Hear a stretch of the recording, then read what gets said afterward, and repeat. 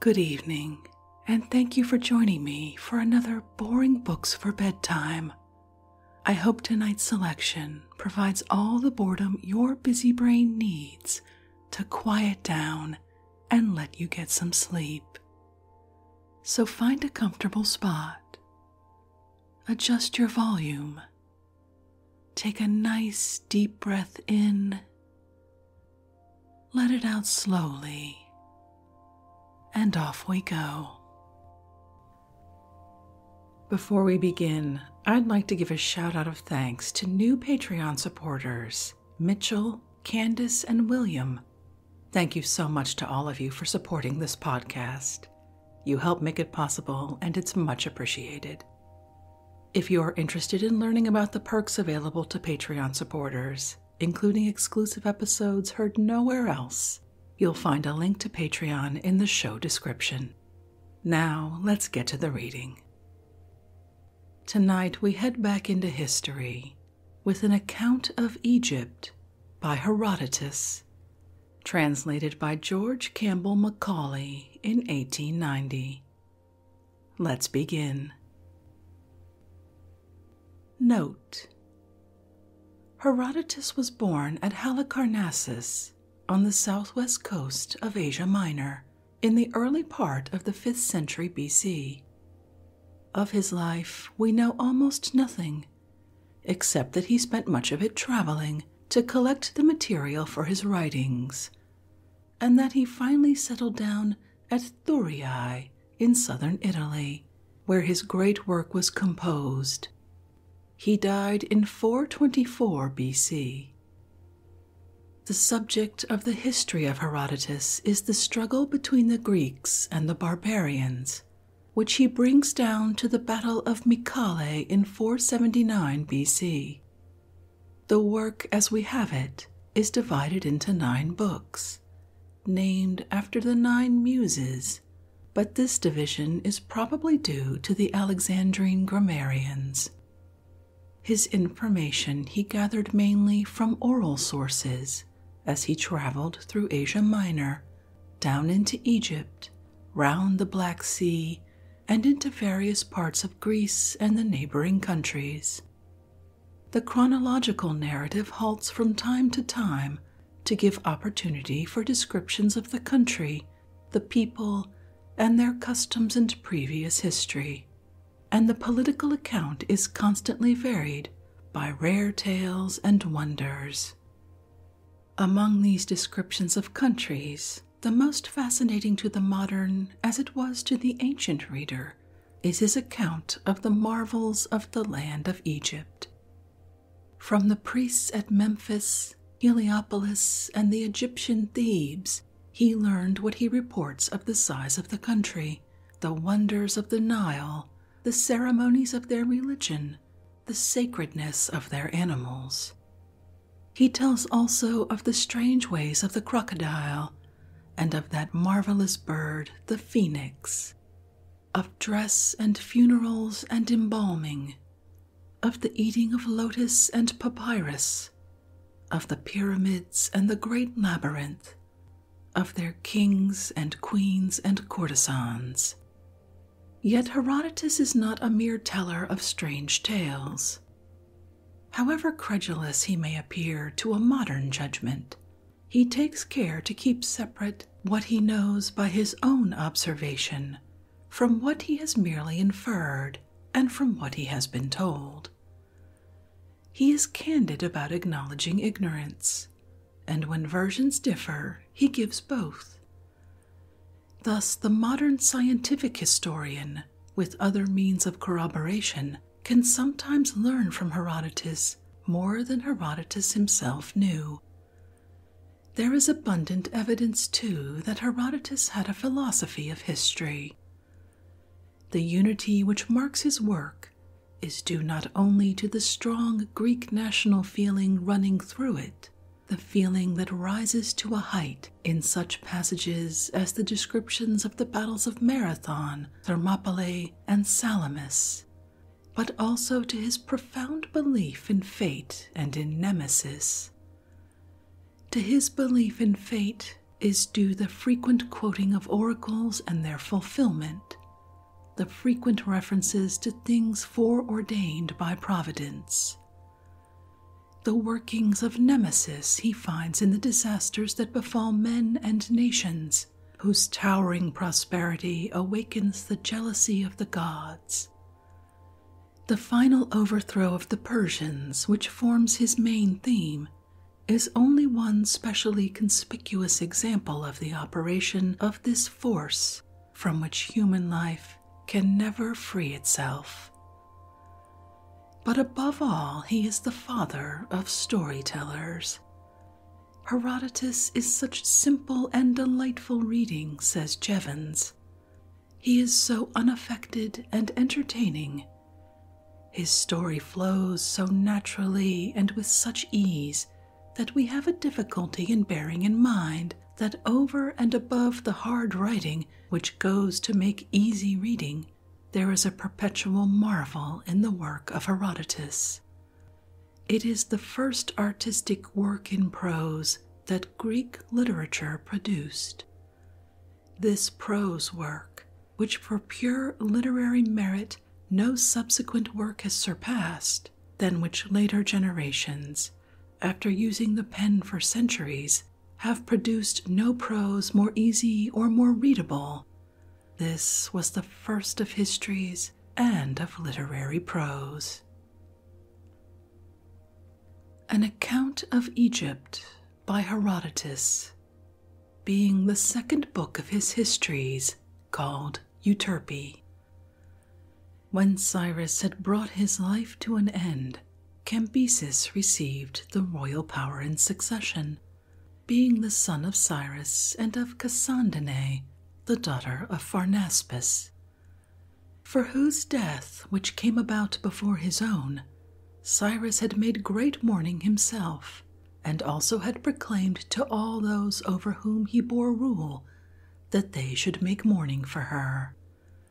Cambyses, I say, being the son of this woman and of Cyrus, regarded the Ionians and the Aeolians as slaves inherited from his father, and he proceeded to march an army against Egypt, taking with him as helpers not only other nations of which he was ruler, but also those of the Hellenes over whom he had power besides.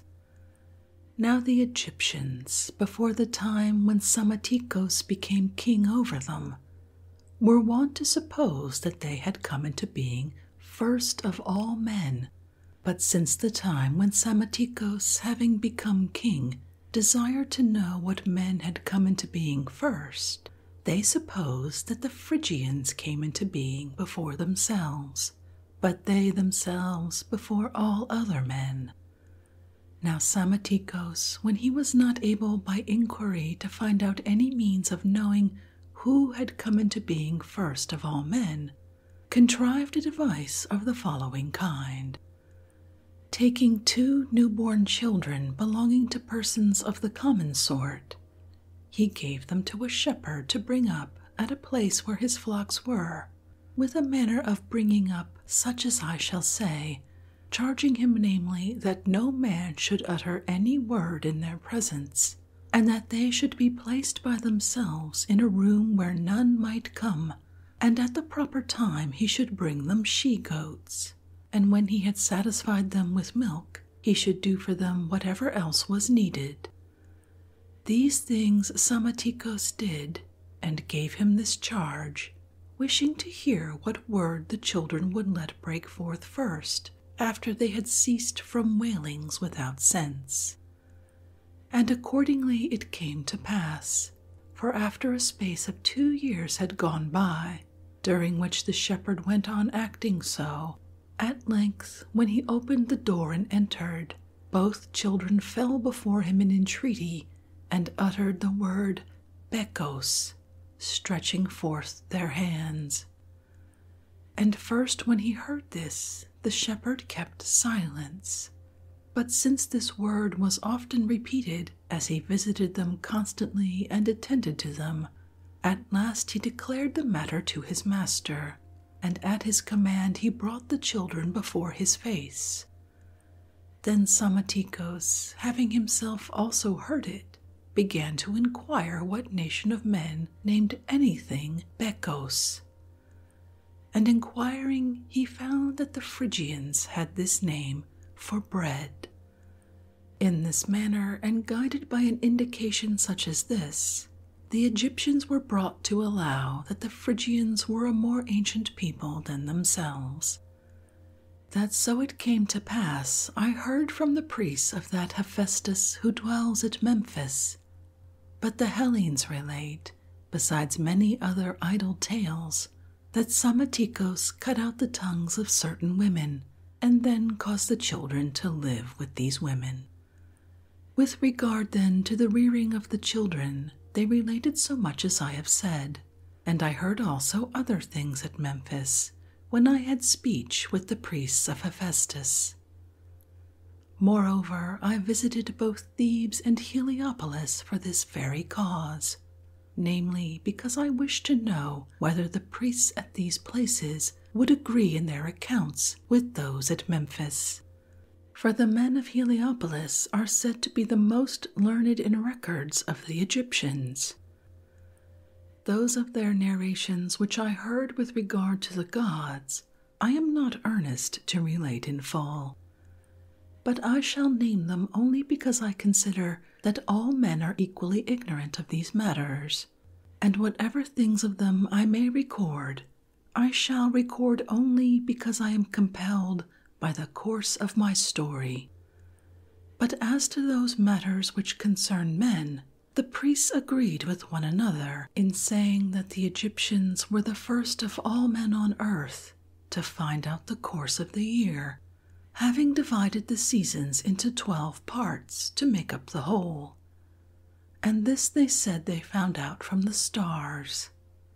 And they reckoned to this extent more wisely than the Hellenes, as it seems to me, inasmuch as the Hellenes throw in an intercalated month every other year to make the seasons right, whereas the Egyptians, reckoning the twelve months as thirty days each, bring in also every year five days beyond number, and thus the circle of their season is completed and comes round to the same point whence it set out. They said, moreover, that the Egyptians were the first who brought into use appellations for the twelve gods, and the Hellenes took up the use from them, and that they were the first who assigned altars and images and temples to the gods, and who engraved figures on stones. And with regard to the greater number of these things, they showed me by actual facts that they had happened so they said also that the first man who became king of Egypt was Min, and that in his time all Egypt except the district of Thebes was a swamp, and none of the regions were then above water which now lie below the lake of Moeris, to which lake it is a voyage of seven days up the river from the sea. And I thought that they said well about the land for it is manifest in truth, even to a person who has not heard it beforehand, but has only seen, at least if he have understanding, that the Egypt to which the Hellenes come in ships is a land which has been won by the Egyptians as an addition, and that it is a gift of the river. Moreover, the regions which lie above this lake, also for a distance of three days' sail, about which they did not go on to say anything of this kind, are nevertheless another instance of the same thing. For the nature of the land of Egypt is as follows First, when you are still approaching it in a ship and are distant a day's run from the land, if you let down a sounding line, you will bring up mud, and you will find yourself in eleven fathoms. This then so far shows that there is a silting forward of the land. Then, secondly, as to Egypt itself, the extent of it along the sea is sixty schoines, according to our definition of Egypt as extending from the Gulf of Plinthine to the Serbonian lake, along which stretches Mount Casion. From this lake, then, the sixty schoines are reckoned. For those of men who are poor in land have their country measured by fathoms, those who are less poor by furlongs, those who have much land by parasangs, and those who have land in very great abundance by schoines. Now the parasang is equal to thirty furlongs, and each schoine, which is an Egyptian measure, is equal to sixty furlongs. So there would be an extent of 3,600 furlongs for the coastland of Egypt. From thence and as far as Heliopolis inland, Egypt is broad, and the land is all flat and without springs of water and formed of mud. From Heliopolis, however, as you go up, Egypt is narrow.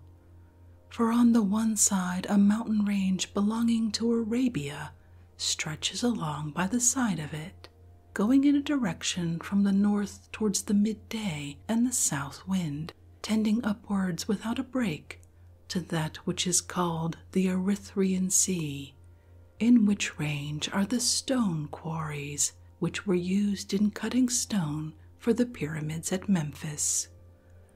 On this side, then, the mountain ends where I have said, and then takes a turn back.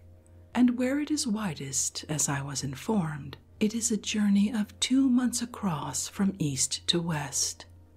And the borders of it which turn towards the east are said to produce frankincense. Such, then, is the nature of this mountain range.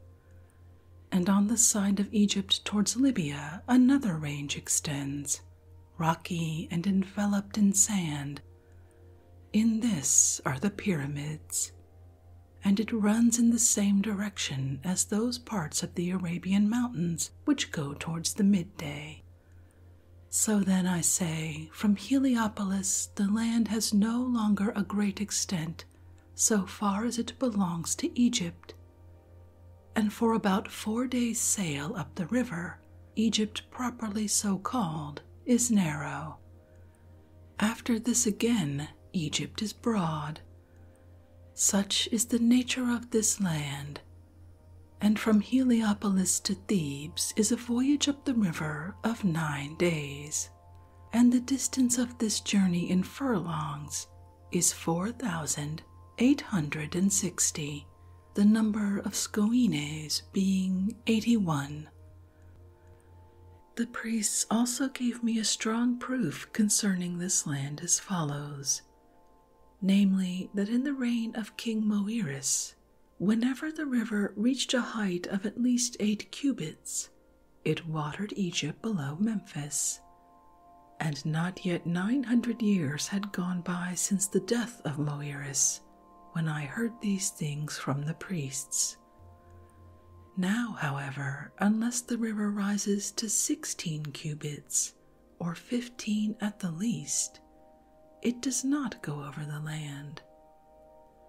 I think, too, that those Egyptians who dwell below the lake of Moeris, and especially in that region which is called the Delta, if that land continues to grow in height according to this proportion and to increase similarly in extent, will suffer for all remaining time from the Nile not overflowing their land.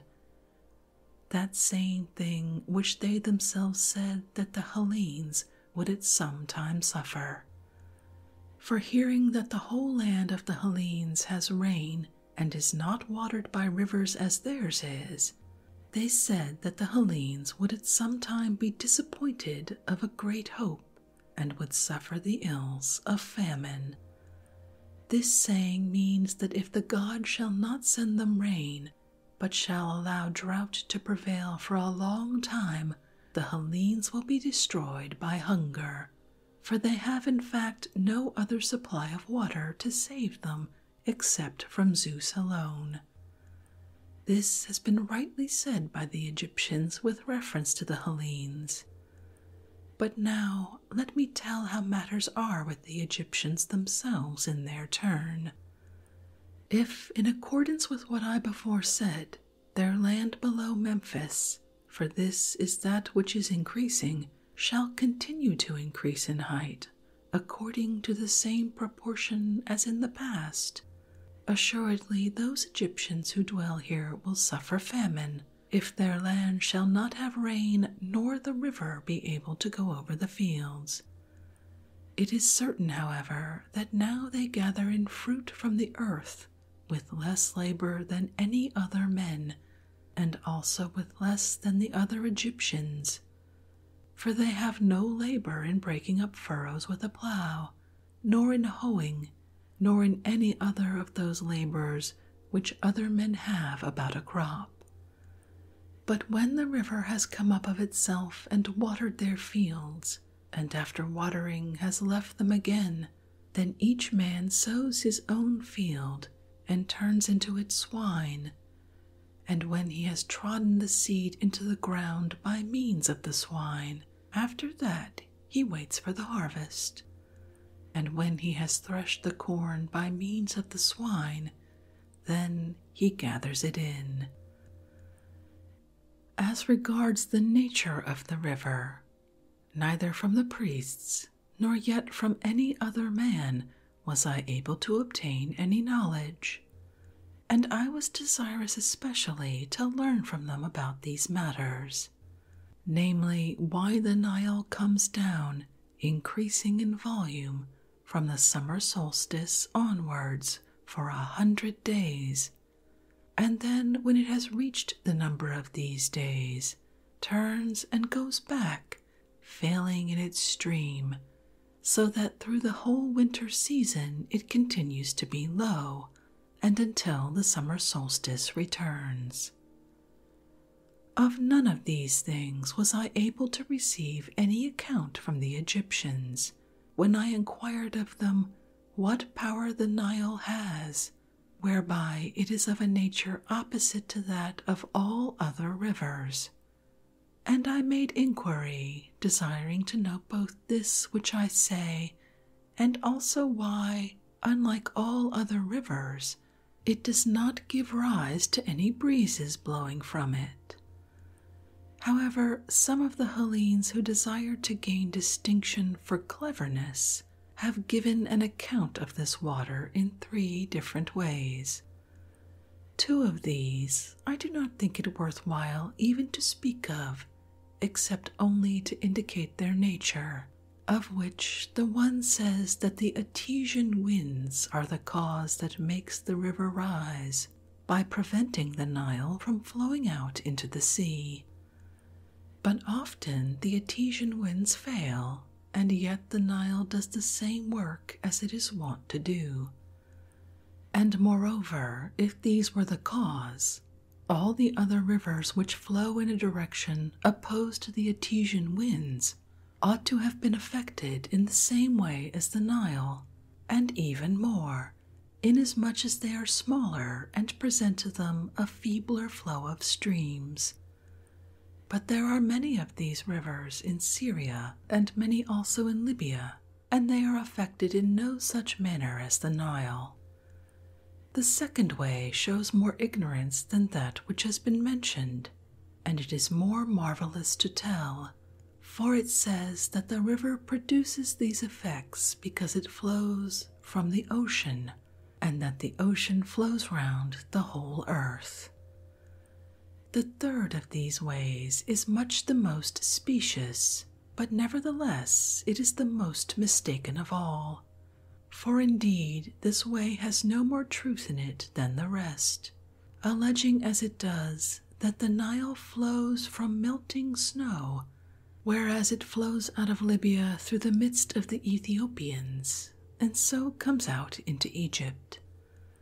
How then should it flow from snow when it flows from the hottest parts to those which are cooler.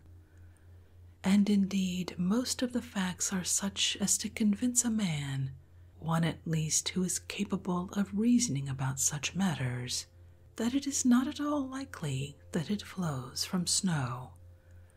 The first and greatest evidence is afforded by the winds, which blow hot from these regions.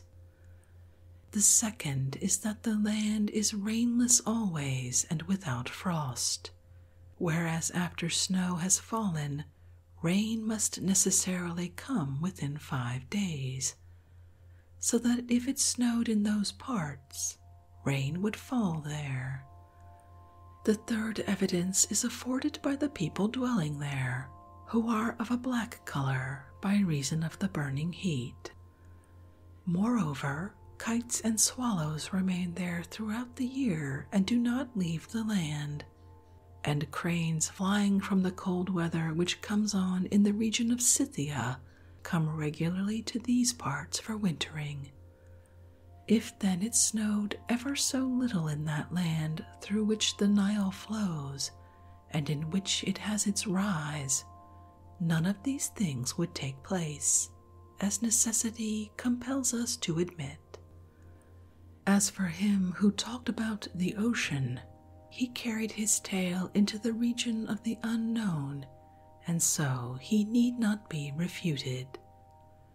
Since I, for my part, know of no river ocean existing, but I think that Homer or one of the poets who were before him invented the name and introduced it into his verse.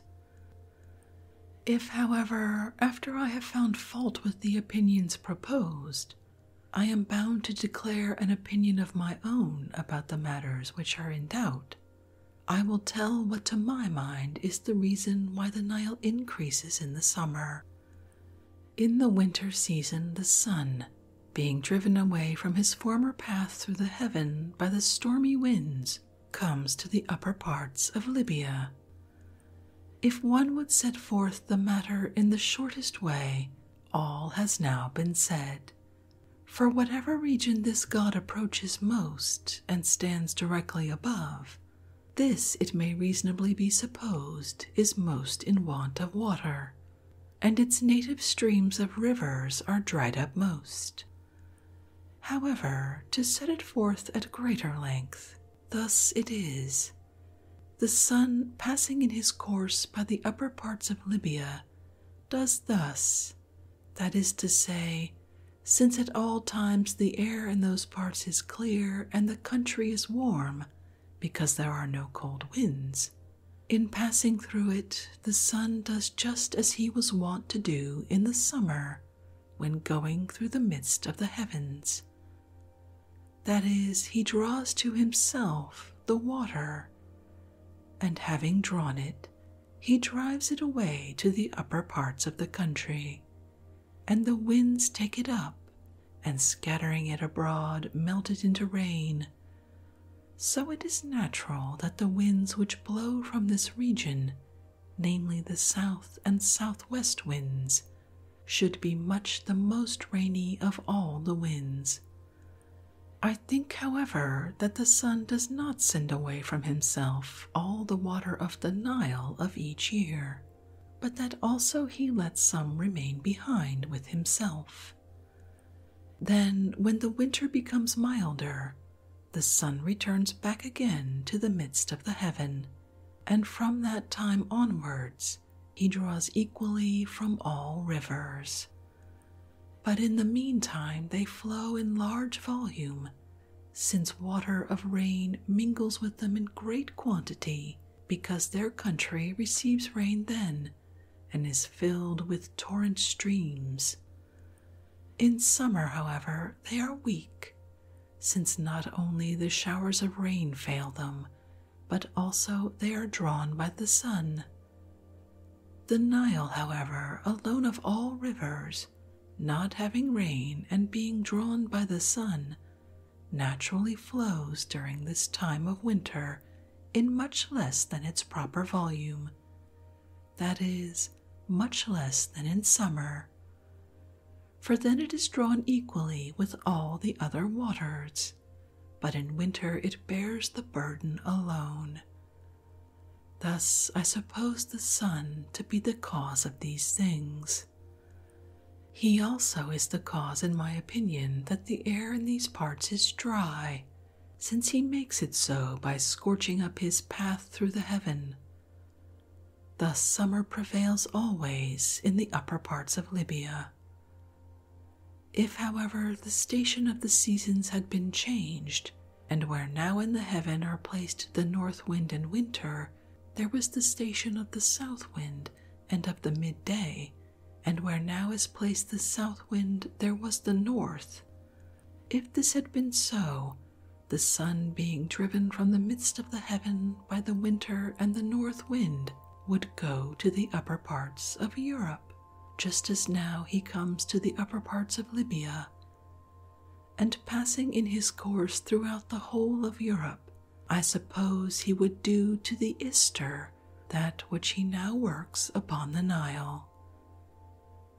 As to the breeze, why none blows from the river, my opinion is that from very hot places it is not natural that anything should blow, and that a breeze is wont to blow from something cold. Of the Nile, then, let so much suffice as has been said. Of Egypt, however, I shall make my report at length, because it has wonders more in number than any other land, and works too it has to show as much as any land which are beyond expression great. For this reason, then, more shall be said concerning it. The Egyptians, in agreement with their climate, which is unlike any other, and with the river, which shows a nature different from all other rivers, established for themselves manners and customs in a way opposite to other men in almost all matters. For among them the women frequent the market and carry on trade, while the men remain at home and weave. And whereas others weave pushing the woof upwards, the Egyptians push it downwards. The men carry their burdens upon their heads, and the women upon their shoulders. The women make water standing up, and the men crouching down. They ease themselves in their houses, and they eat without in the streets, alleging as reason for this that it is right to do secretly the things that are unseemly though necessary, but those which are not unseemly in public. No woman is a minister either of male or female divinity, but men of all, both male and female. To support their parents, the sons are in no way compelled if they do not desire to do so, but the daughters are forced to do so, be they never so unwilling. The priests of the gods in other lands wear long hair, but in Egypt they shave their heads. Among other men, the custom is that in mourning, those whom the matter concerns most nearly have their hair cut short. But the Egyptians, when deaths occur, let their hair grow long, both that on the head and that on the chin, having before been close shaven. Other men have their daily living separated from beasts, but the Egyptians have theirs together with beasts. Other men live on wheat and on barley, but to any one of the Egyptians who makes his living on these, it is a great reproach. They make their bread of maize, which some call spelt. They knead dough with their feet and clay with their hands, with which also they gather up dung. And whereas other men, except such as have learnt otherwise from the Egyptians, have their members as nature made them, the Egyptians practice circumcision. As to garments, the men wear two each, and the women but one. And whereas others make fast the rings and ropes of the sails outside the ship, the Egyptians do this inside. Finally, in the writing of characters and reckoning with pebbles, while the Hellenes carry the hand from the left to the right. The Egyptians do this from the right to the left. And doing so, they say that they do it themselves rightwise, and the Hellenes leftwise. And they use two kinds of characters for writing, of which the one kind is called sacred and the other common. They are religious excessively beyond all other men, and with regard to this, they have customs as follows. They drink from cups of bronze and rinse them out every day, and not some only do this, but all. They wear garments of linen always newly washed, and this they make a special point of practice they circumcise themselves for the sake of cleanliness, preferring to be clean rather than comely. The priests shave themselves all over their body every other day, so that no lice or any other foul thing may come to be upon them when they minister to the gods. And the priests wear garments of linen only and sandals of papyrus and any other garment they may not take, nor other sandals. They wash themselves in cold water twice in a day, and twice again in the night, and other religious services they perform, one may almost say, of infinite number. They enjoy also good things not a few, for they do not consume or spend anything of their own substance but there is sacred bread baked for them, and they have each great quantity of flesh of oxen and geese coming into them each day, and also wine of grapes is given to them. But it is not permitted to them to taste of fish. Beans, moreover, the Egyptians do not at all sow in their land, and those which they grow they neither eat raw nor boil for food. Nay, the priests do not endure even to look upon them, thinking this to be an unclean kind of pulse. And there is not one priest only for each of the gods, but many, and of them one is chief priest. And whenever a priest dies, his son is appointed in his place. Egypt, though it borders upon Libya, does not very much abound in wild animals, but such as they have are one and all accounted by them sacred, some of them living with men and others not. But if I should say for what reasons the sacred animals have been thus dedicated, I should fall into discourse of matters pertaining to the gods, of which I most desire not to speak. And what I have actually said touching slightly upon them, I said because I was constrained by necessity. About these animals, there is a custom of this kind. Persons have been appointed of the Egyptians, both men and women, to provide the food for each kind of beast separately, and their office goes down from father to son.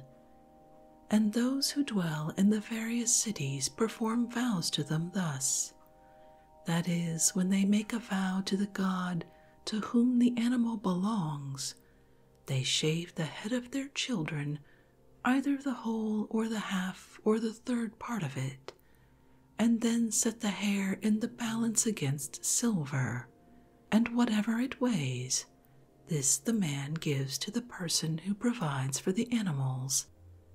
And she cuts up fish of equal value and gives it for food to the animals. Thus, food for their support has been appointed, and if anyone kill any of these animals, the penalty, if he do it with his own will, is death, and if against his will, such penalty as the priests may appoint.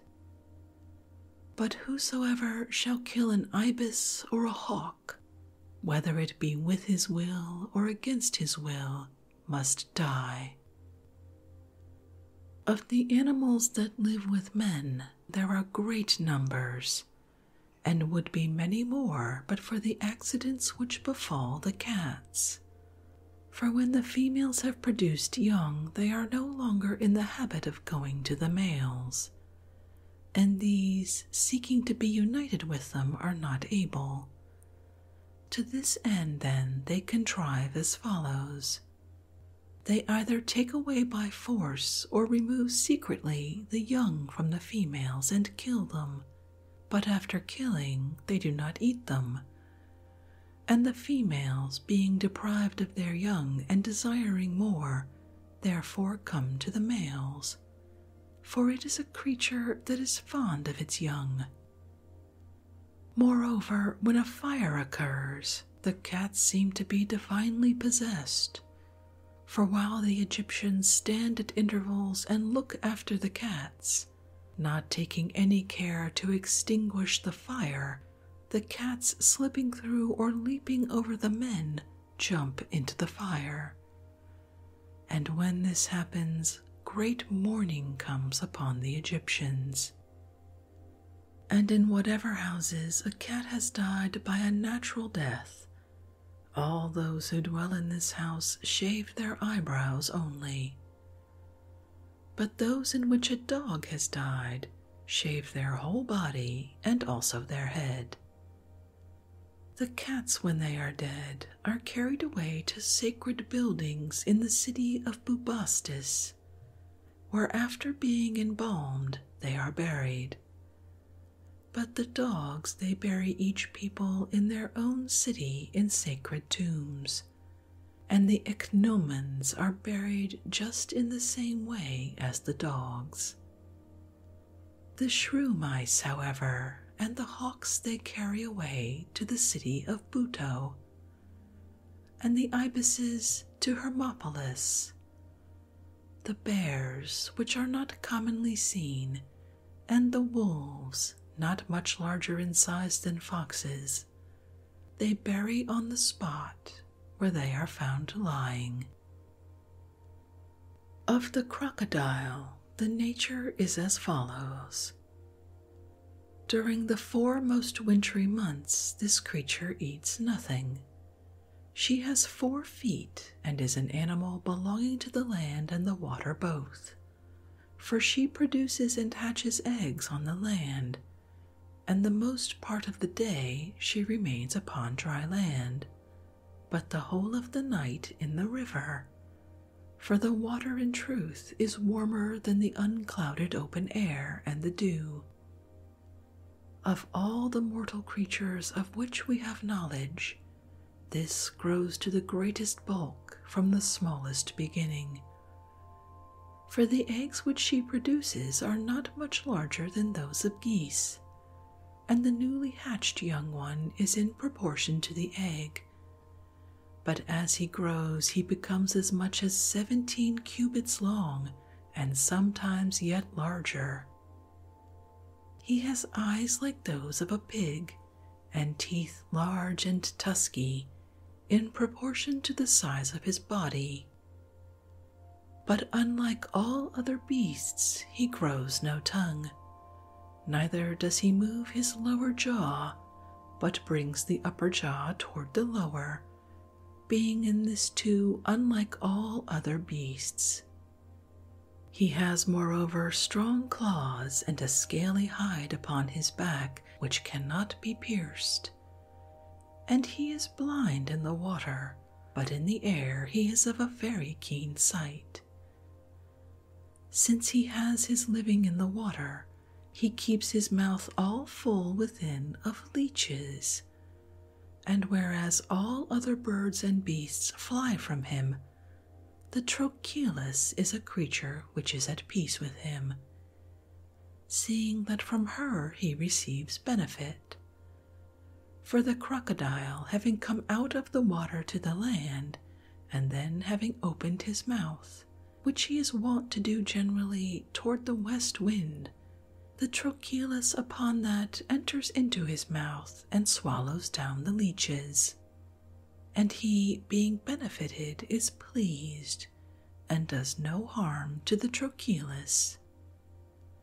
Now, for some of the Egyptians, the crocodiles are sacred animals, and for others, not so, but they treat them on the contrary as enemies.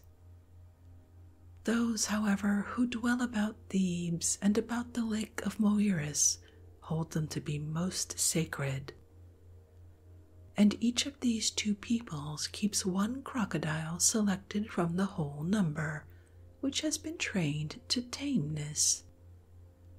And they put hanging ornaments of molten stone and of gold into the ears of these, and anklets round the front feet, and they give them food appointed and victims of sacrifices, and treat them as well as possible while they live. And after they are dead, they bury them in sacred tombs, embalming them. But those who dwell about the city of Elephantine even eat them, not holding them to be sacred. They are called not crocodiles, but champsai, and the Ionians gave them the name of crocodile, comparing their form to that of the crocodiles or lizards which appear in their country in the stone walls. There are many ways in use of catching them, and of various kinds. I shall describe that which to me seems the most worthy of being told. A man puts the back of a pig upon a hook as bait and lets it go into the middle of the river, while he himself upon the bank of the river has a young live pig which he beats. And the crocodile, hearing its cries, makes for the direction of the sound, and when he finds the pig's back, he swallows it down then they pull, and when he is drawn out to land, first of all the hunter forthwith plasters up his eyes with mud, and having done so, he very easily gets the mastery of him. But if he does not do so, he has much trouble. The river horse is sacred in the district of Papremis, but for the other Egyptians he is not sacred and this is the appearance which he presents. He is four footed, cloven hooved like an ox, flat nosed, with a mane like a horse, and showing teeth like tusks, with a tail and voice like a horse, and in size as large as the largest ox. And his hide is so exceedingly thick that when it has been dried, shafts of javelins are made of it. There are, moreover, otters in the river, which they consider to be sacred, and of fish also they esteem that which is called the lepidotos to be sacred, and also the eel. And these, they say, are sacred to the Nile, and of birds the fox goose, there is also another sacred bird called the phoenix, which I did not myself see except in painting, for in truth he comes to them very rarely, at intervals, as the people of Heliopolis say, of five hundred years. And these say that he comes regularly when his father dies. And if he be like the painting, he is of this size and nature that is to say, some of his feathers are of gold color and others red, and in outline and size he is as nearly as possible like an eagle. This bird, they say, but I cannot believe the story, contrives as follows. Setting forth from Arabia, he conveys his father, they say, to the temple of the sun or Helios plastered up in myrrh, and buries him in the temple of the sun, and he conveys him thus. He forms first an egg of myrrh, as large as he is able to carry, and then he makes trial of carrying it. And when he has made trial sufficiently, then he hollows out the egg and places his father within it, and plasters over it with other myrrh that part of the egg where he hollowed it out to put his father in. And when his father is laid in it, it proves, they say, to be of the same weight as it was, and after he has plastered it up, he conveys the whole to Egypt to the temple of the sun. Thus they say that this bird does.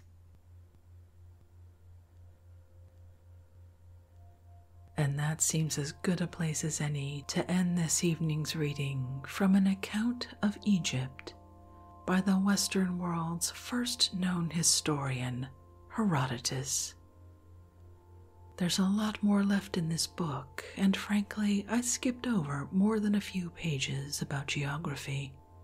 So if you'd like to read this work for yourself, as always, you'll find a link to a free ebook from Project Gutenberg in the show description.